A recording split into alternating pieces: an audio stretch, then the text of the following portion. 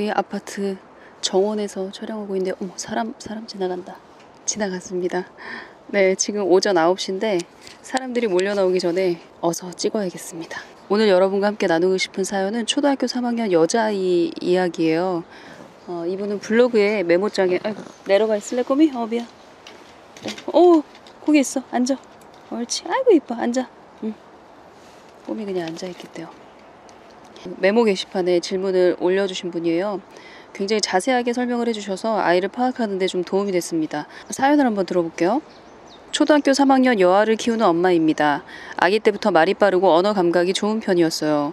우연히 엄마표 영어를 알게 되고 제가 그림책 공부를 했던 터라 영어 그림책을 자연스럽게 노출했고 아이도 언어와 이미지를 자연스럽게 연결해서 잘 받아들였습니다. 출발이 좋죠. 에릭 칼의 Brown Bear를 한 달 넘게 들을 정도로 좋아했고 4살 때에는 Max and Ruby를 보여줬는데 며칠 뒤에 장난감을 갖고 놀면서 영어 대사를 따라하길래 잘못 들었나 했는데 며칠 뒤에 일상생활 중에 영어로 혼자 대화하면서 놀더라고요. 그리 어렵지 않게 영어에 노출되고 지금은 일상이 되어 지금도 영어 방송 즐겨보고 있고 영어로 자유롭게 말하면서 놀아요. 어, 이 친구가 영어로 말하면서 노는 장면을 동영상으로 찍어서 올려주셨기 때문에 제가 그걸 봤거든요. 어, 초등학교 3학년 여자이고 장난감을 가지고 혼자 노는데 이제 영어로 어, 계속 얘기를 하면서 노는데 굉장히 자연스러워요. 거의 뭐 미국에서 그냥 나고 자란 아이처럼 그렇게 영어가 자연스러웠고 엄마가 말한 대로 Brown Bear를 한 달 넘게 반복해서 들을 정도로 좋아했다라는 걸로 보아 그, 그때가 4살이었던 것 같아요. 서너 살 굉장히 음악적인 감각이 있고 언어적인 감각이 있는 아이인 것 같아요. 그리고 귀가 굉장히 예민하고 뭐 이런 아이들은 많이 있는데 요맘때 아이들이 보이는 특징이죠. 청각에 굉장히 예민하게 반응하는 거. 그런데 Max and Ruby를 보면서 거기 나와 있는 대사를 계속 따라하면서 어, 역할극을 했다라는 것으로 보아 말하는 것도 굉장히 좋아하고 진짜 언어 감각이 있는 친구 같아요. 자, 그 다음 이야기 계속 들어볼게요. 워낙 자유로운 성향의 아이라 읽기 시키기가 힘들어요.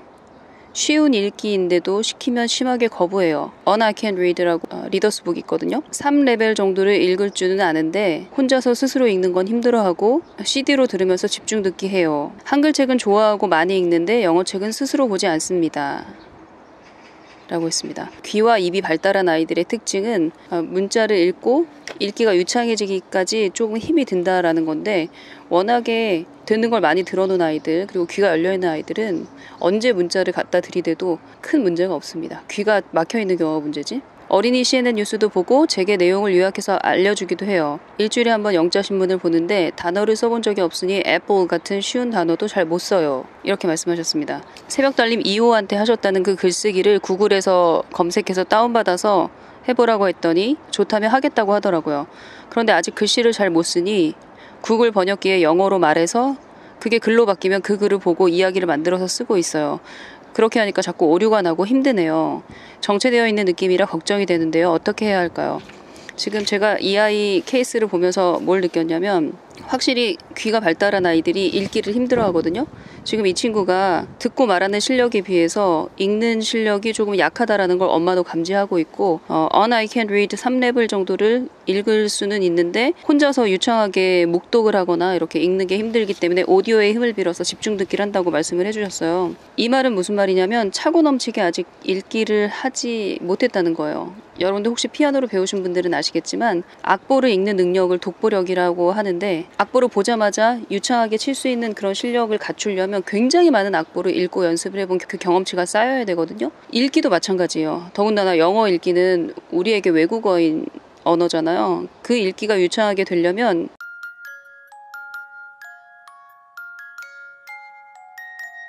늘 강조를 하지만 여러분들이 상상하는 것 그 이상의 읽기가 채워져야 돼요. 읽기량이. 그래서 제가 이분한테는 뭐라고 답변을 드렸냐면 지금 글 쓰는 게 문제가 아니라 그러니까 아웃풋 내 안에 들어있는 인풋이나 인테이크를 꺼내서 아웃풋을 하는 게 중요한 게 아니라 얘는 지금 인풋을 할 단계다. 특히 읽기는 어, 인풋량이 상대적으로 적기 때문에 집중 듣기를 오히려 집중해서 하셔야 될 시기다라고 말씀을 드렸습니다. 지금 이 아이가 읽는 영자 신문 영자 신문 이런 것도 다 필요 없어요.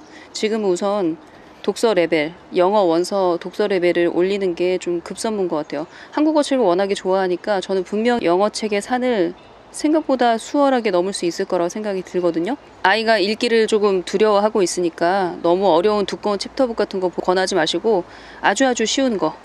방금 On I Can Read 3레벨 정도 그러니까 이게 Oxford Reading Tree ORT로 하면 한 9, 10, 11 그 정도 레벨 정도가 될 것 같은데 그런 정도의 글밥의 책을 그러니까 읽기 만만한 아이가 부담스러워서 이렇게 겁에 질리지 않을 만한 그런 책들을 양껏 많이 읽는 게 중요한 것 같아요.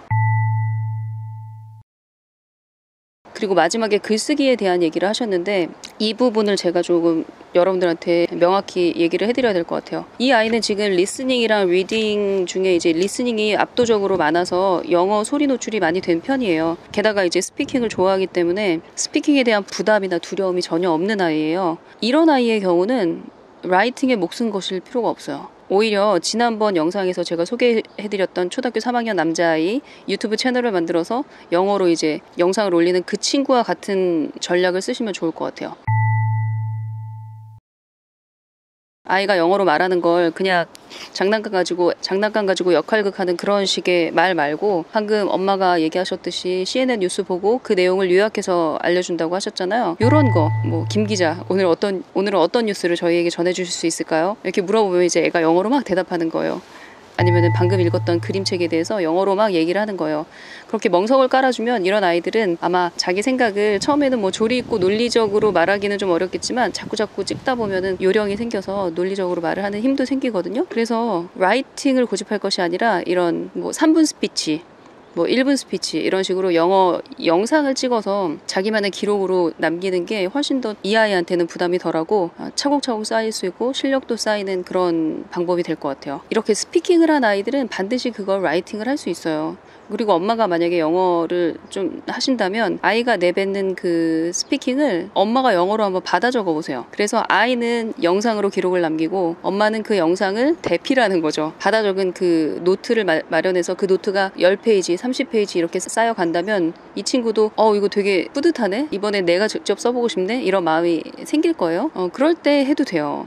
그리고 이 친구가 한 writing을 보니까 역시 제 예상대로 speaking이 되는 애들은 그 말을 그냥 글로 바꾸면 되니까 writing이 가능합니다. 이 아이의 경우는 문제될 게 하나도 없고 지금 너무 잘하고 계시는데 엄마가 이제 그 다음 단계로 jump up을 하고 싶은데 어떻게 해야 될지 막막해서 저한테 물어보신 것 같아요. 결론적으로 말씀드리면 지금은 읽기를 양껏 읽기를 양껏 채워서 원서 독서력을 끌어올려 주시는 게 급선무고 두 번째 글쓰기는 잠깐 놓으셔도 될 것 같다. 오히려 speaking한 그 영상을 차곡차곡 쌓거나 그 영상에서 말했던 걸 아이한테 이렇게 구글 번역기다 대고 말하고 옮겨 적으려 하지 마시고 엄마가 받아 적으셔도 되고 이 과정은 아예 skip하셔도 돼요. 그냥 영상만 계속 채우셔도 충분합니다. 제가 보기엔. 그리고 writing을 굳이 내가 아이가 글 쓰는 훈련을 하고 싶다. 글 쓰는 훈련을 하게 하고 싶다. 그러면 한국어로 한번 해보세요. 모국어로 해주는 거. 음, 그러면 될 것 같습니다. 오늘은 여기서 마치고 다음 영상에서 만나죠. 사람들이 이제 슬슬 오네요.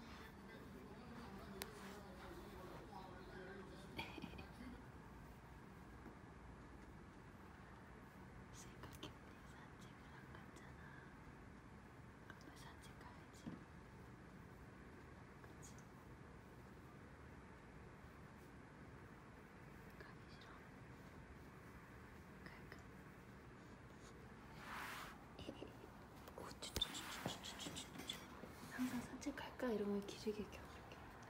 갑시다.